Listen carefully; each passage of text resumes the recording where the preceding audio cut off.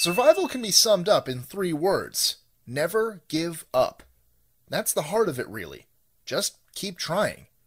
Bear Grylls. Here are 25 survival myths that could actually hurt you. 25. You need to find food right away. Your body can actually survive for weeks on your body's fat reserves. By that point in time, you're likely to die of numerous other causes, including injury, exposure, poisoning, or illness. In fact, people usually don't die of starvation in survival situations. 24.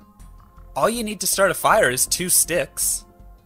You'll actually need a bit more than that, including kindling and a fireboard, and in some cases, string to make a fire bow and a top rock.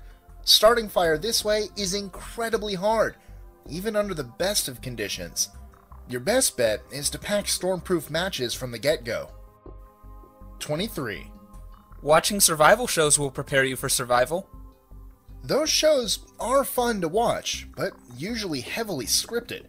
While you may be able to take away some general tips, don't get lulled into a false sense of security just because you've watched every episode of Man vs. Wild.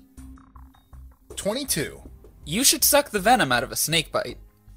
Clinical field trials done at the University of Arizona have shown that more damage is done to the surrounding tissues if you apply suction devices. Furthermore, ice, tourniquets, and compression wraps all do more harm than good. Your best bet? Wash the wound site, cover it with a bandage, and try to get to the hospital as fast as possible. And remember, a dead snake can still bite you. The bite reflex sticks around for a few hours after death. 21. You can outrun a bear. No, you can't. Not even Usain Bolt can run fast enough. There is no conceivable situation in which you should try to outrun a bear. 20. Well, then, you should play dead if you meet a bear. So, if you shouldn't run, you should just play dead, right? Well, it depends on the bear. If it's a grizzly, then your best bet is to stand your ground, even if it charges you, and when it makes contact, drop down, cover your vital organs, and play dead. If it's a black bear, this won't work. You need to make yourself seem big and threatening by opening your jacket, screaming, and stomping. Either way, don't make eye contact and try to carry bear spray.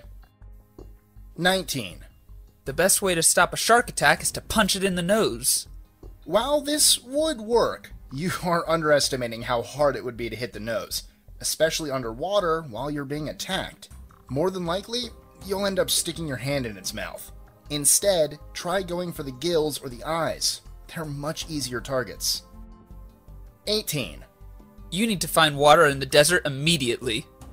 It's actually better to sit in the shade and try not to sweat so much during the day. If you want to move around, it's better to do it at night when it's cooler. Some people have died of thirst after only four hours of taxing their body to find water, while others have survived two days by conserving what they already have. 17. You should drink your urine to quench your thirst. Slow down there, Bear Grylls. While you can drink your urine at least once with no significant consequences, it will tax your body and potentially cause it to overheat a bit more. It's a trade off that you'll have to decide on. A potentially better use of your urine, with no side effects, would be to use it on a bandana to cool yourself off. 16. Well, then, you can drink from a cactus. Drink cactus juice. It'll quench you. Nothing's quenchier. It's the quenchiest. Chances are that you'll just make yourself sick. Similar to urine, your body has to work extra hard to process out all the poisons, which can potentially push you closer to heat stroke. There is, however, one cactus you can drink from the barrel cactus. Well, only one of the five types the fishhook barrel. So, as you can see, unless you're a cactus expert, your chances of being poisoned are pretty high. 15. You don't need to worry about survival on short trips. Any 10 year old Boy Scout would shout at you for this. Be prepared. Always. If you're going into the wilderness, then bring a small kit with you based on where you're going. 14. A helicopter can rescue me. in many cases, it can't. There are numerous places that helicopters just can't fly, especially if you're high in the mountains. 13. Boiling water makes it 100% clean. Boiling water only kills germs and bacteria. If there's dirt or muck in the water, it would need to be filtered as well. Boiling won't get rid of such things. You can create a makeshift filter by running the water through a fabric, such as a shirt, and then boil it afterwards. 12. Eating snow is a good way to rehydrate. Eating snow will require your body to expand valuable energy in order to heat it up. It's better to melt it first and then drink it. 11. Shelter means having a roof over your head. Alright, most people think that the first thing you should do is build some sort of Hollywood style teepee. As survival experts will tell you, it's the ground you need to worry about, not the sky. It's better to have a bed and no roof than a roof and no bed. Your first order of business when it comes to shelter should be constructing a bed that will prevent you from losing valuable heat into the ground. Then, if you have time, focus on the roof. 10. If you're impaled by an object, pull it out. Most people probably know this one by now, but never, ever pull out an impaled object. It will only cause the wound to bleed faster. Instead, dress the area around the wound and object and seek help immediately.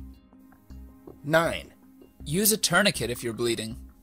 Of course, tourniquets can save your life, but only use them as a last resort if it becomes very likely that you will lose your limb. Also, once you apply the tourniquet, do not remove it under any circumstance. This can release toxins back into your bloodstream that your body won't be able to handle. It needs to be removed in the hospital. Pro tip mark the time that you applied the tourniquet.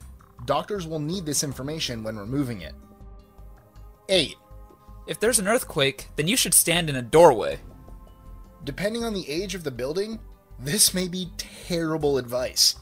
In the past, the door frame was extremely sturdy, but in modern structures, there are much better places to hide, like under a sturdy table or desk. Keyword sturdy. 7. Eating plants is a safe bet. Not really. Unless you have time to perform the universal edibility test, which is actually something really good to learn about, there's a good chance that you'll ingest something poisonous. Besides, even if you do find plants that aren't poisonous, they probably don't have many nutrients anyway. It would be a waste of your time. 6. Moss only grows on the north side of trees. This is false. In the northern hemisphere, it may sometimes grow better on the northern side of the tree, only because that side is less likely to receive direct sunlight. But it can grow anywhere if there's shade or moisture. Don't depend on this to give you accurate directions. The sun would be a better source. 5. Drinking alcohol keeps you warm. This myth is actually quite dangerous. Alcohol only makes you feel warmer, but it in fact decreases your internal body temperature. 4. If it's cold on the valley floor, move to a higher ground. While it's true that inversion layers and rising hot air can make it a few degrees warmer on the slopes of the valley than on the valley floor, it's not always a good idea to move to higher ground. Remember that there is a higher wind chill factor, and it may be harder to start fires. You just have to use your discretion. 3.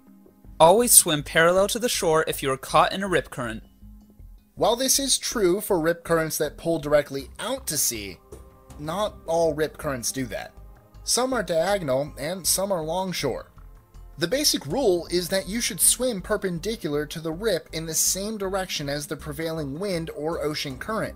If at any point you feel like you're swimming upstream, then you are not moving in the right direction. 2. You will suddenly find yourself in a survival scenario. Survival situations do not usually happen suddenly. They're typically the result of a series of bad decisions. Many times, it's our pride or stubbornness that gets us there. If you're out fishing on a lake and you see lightning, get off the lake. Don't be macho, and most likely you'll be okay. 1. Survival is about knowing what to do. No. As any survivalist will tell you, survival is much less glamorous than just having the right skills. Sometimes it is about that, but usually it's simply about prevention. As I just mentioned before, don't be foolish and use common sense. The best way to survive a deadly scenario is to not get yourself into a deadly scenario. Enjoying our lists? Be sure to click that subscribe button in the top right corner so you don't miss out on new ones every Monday through Friday. Share them with your friends and help us consistently conciliate curiosity. And if you want even more lists, check out these two videos here or just head to our website at list25.com.